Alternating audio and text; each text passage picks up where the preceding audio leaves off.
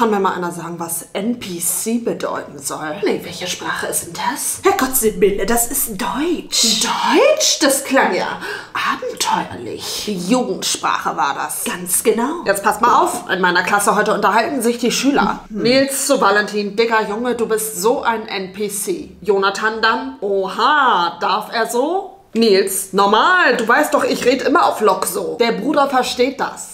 Jonathan sagt, goofy. Schrecklich. Und wie soll ich da jetzt irgendwas verstehen von dem Gefasel? Ja, das ist nicht einfach. Ist ja ein Ding. Ich verstehe kein Wort. Also da merkst du einfach, wir werden alt. Ja. Aber sowas von. Ich glaube, ich brauche Botox. Ich fühle mich wie ein Dinosaurier. Fein regelrecht, da kannst du nichts beschönigen. Äh, Entschuldigung, Herr Brach, ich soll für die Klasse fragen, weil es so kalt ist, ob wir gleich im Sachunterricht vielleicht eher auf Locken Film gucken können, anstatt in den Schulgarten zu gehen. ich. Wa- Was? Äh, Ich denke nicht. Side-Eye. Gibt's noch Kaffee?